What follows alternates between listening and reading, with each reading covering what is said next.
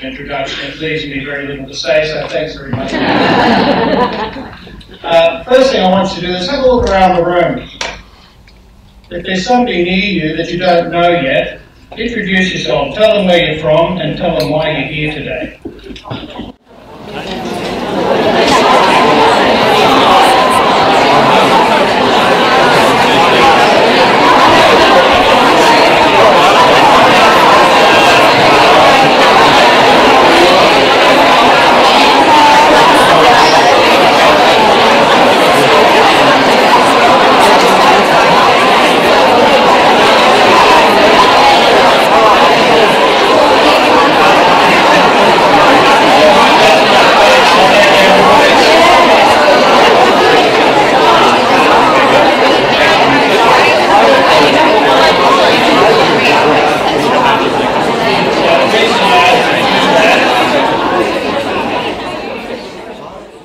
is that above all else, and with the greatest of respect to our distinguished speaker, Mark Treadwell, above all else, the stars of today are the people you've just been talking to. When people speak disparagingly of teachers and think about what a cushy job they've got and how long the holidays are, they really don't see exercises like this. And they don't see the people who stay awake at night thinking about how they can improve the learning for the students in their class. They don't see the after school meetings and conversations like the ones that we're going to have today. About one in every six of you is generous enough and brave enough to present the way in which you teach and learn to your colleagues. And that's quite extraordinary. So the very first thing I want to do is thank you all for coming here, and uh, I won't say welcome to the first day of the holidays again, I just did. Um, I want to express um, for, uh, now my acknowledgement of the land on which we stand, particularly in the context of NAIDOC Week. Um, our Aboriginal brothers and sisters have been learning and living on this land uh, before recorded history. I'd want to put on record, even though Maria had to move off, our appreciation of ACU's making this space and the other rooms available to us during this period of time. A very generous uh, contribution. When I was thinking about what I wanted to talk about today, just by way of setting the tone, it struck me that sometimes it's hard to keep all the ideas in our, in our learning statement. Of course, you should all be reaching into your pockets and pulling out your card as well. And if you don't have one, there are plenty out of reception. Um, giving something of a different spin. And, and really what I wanted to do today was talk about the seven C's of authentic learning. Apologies for the bad pun. And uh, I just want to walk through some of these because I think it's not a bad way of connecting with all that we think is important about learning, with the kind of learning that's really going to allow our students, as our statement says, to live lives of promise and meaning in a rapidly changing world. And that's an expression that came from somebody in a school as we put the statement together. Lives of promise and meaning in a rapidly changing world. So our first C, challenge. Our students should be challenged. When we were developing the statement, one of the things that happened in workshops where I asked people to talk about what they understood by authentic learning was we got what I call the nice and fluffy bits.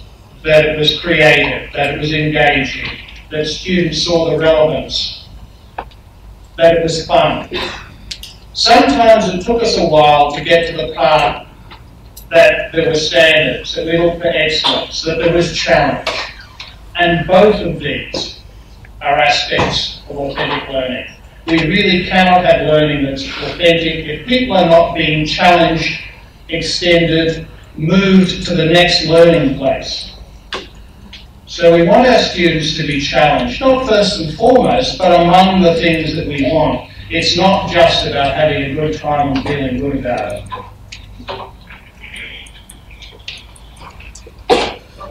In a time such as the one that we live today, where we find ourselves constantly astounded by what, communities can do to themselves, and by the kinds of people who are shaping public opinion.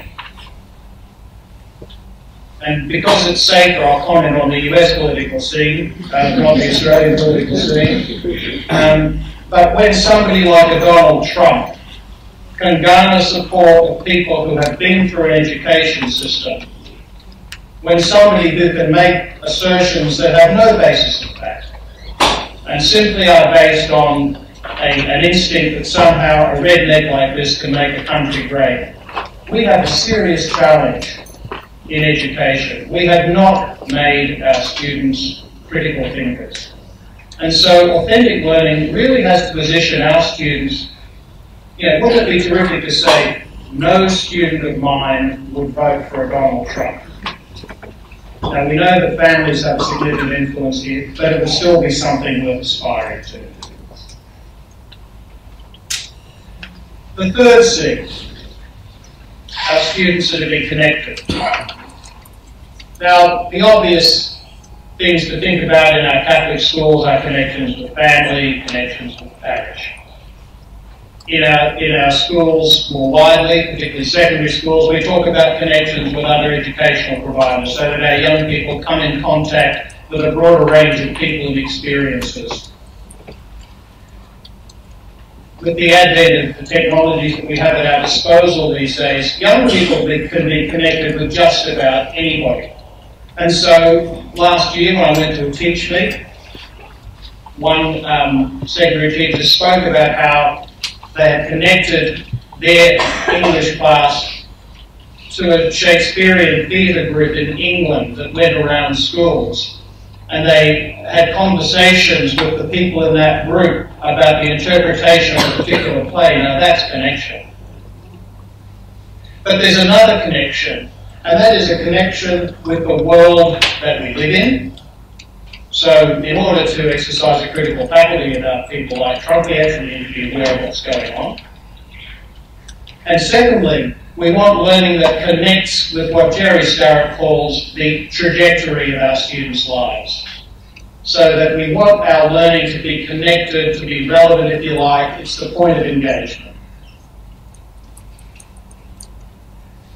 we are increasingly aware that learning, while it has an individual dimension, also, uh, I, have swapped my slides around on this one, sorry, I'll, I'll go back, I'll run back up again. In the times in which we work as teachers, there is perhaps an overemphasis on the quantifiable, an overemphasis on external testing, a sense that the only way to respond to those kinds of pressures and accountabilities is by uh, regurgitation, sometimes and less glamorously known as chew and spew, as a way to um, succeed in the educational rat race.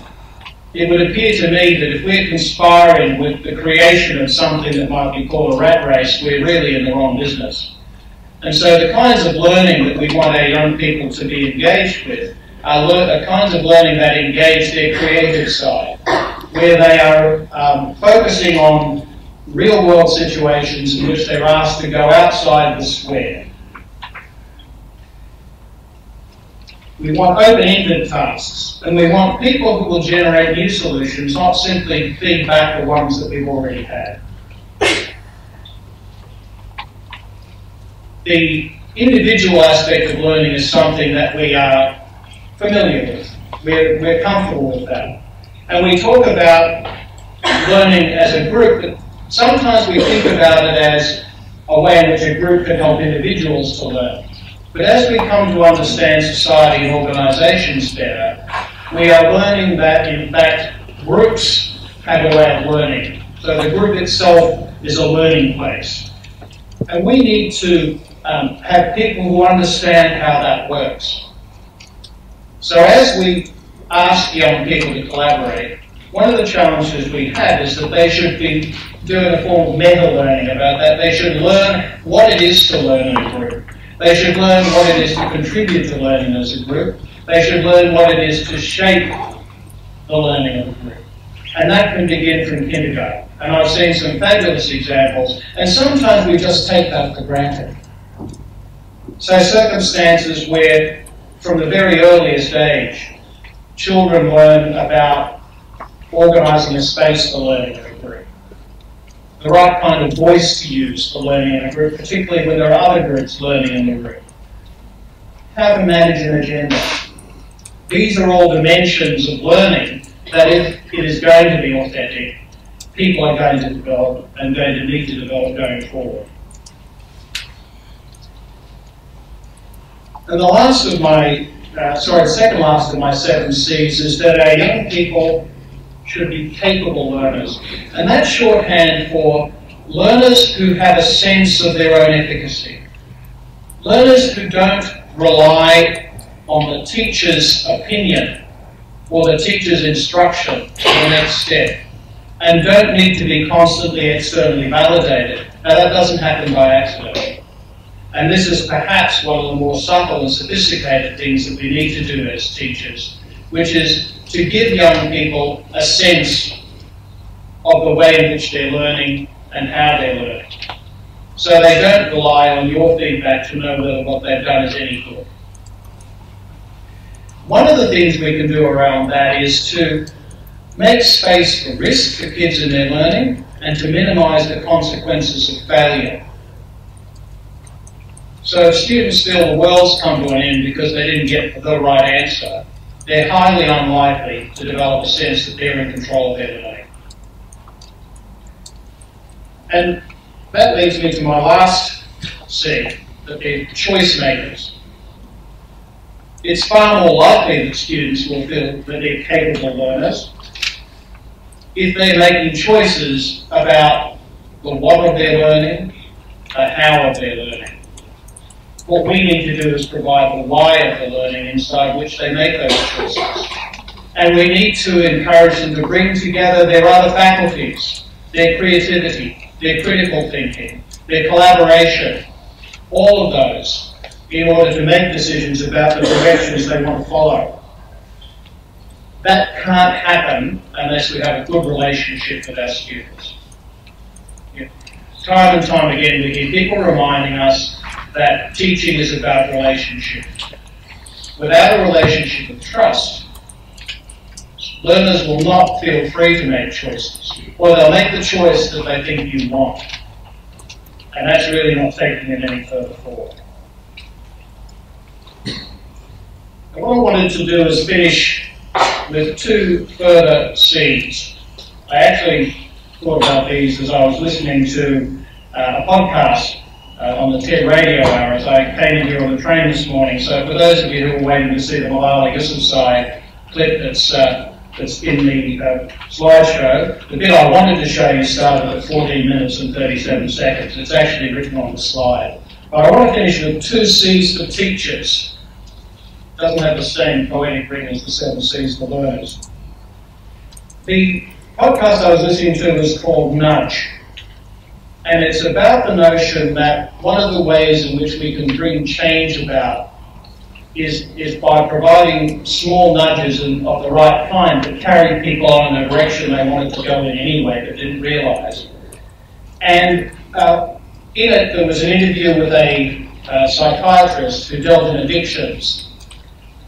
And he talked about making people curious. So, curious is my first C teachers he deals with addicts, and so instead of telling people not to do things, he says, be curious about your smoking, or your heroin addiction, or whatever it happened to be.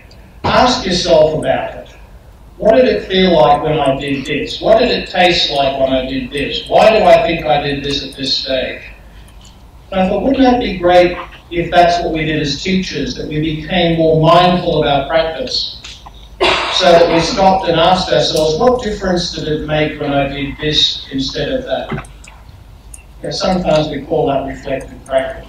So let's be curious, and that's about what I do in my own capacity. Because as I become more aware of what's actually going on, my values are going to come to bear. And I'm hoping that the values of authentic learning will. And the second point that I wanted to draw to your attention is conversation. That it's not enough that I look after my own professional practice, that I have a responsibility and I will benefit from the professional practice of others. So talk to other people, ask them the, the same kinds of questions, share the things that you've been reading. Talk to the willing and talk to the unwilling. In this morning's prayer, we had, So I send you out. Jesus sent them out. Well, in a sense, learning something we can be evangelical about, and I guess the model Catholics can't be evangelical, nobody can. So, if we're going to make a difference for our 72,000 kids, it's a group like this that's going to spread the word among their colleagues. So you can make a difference.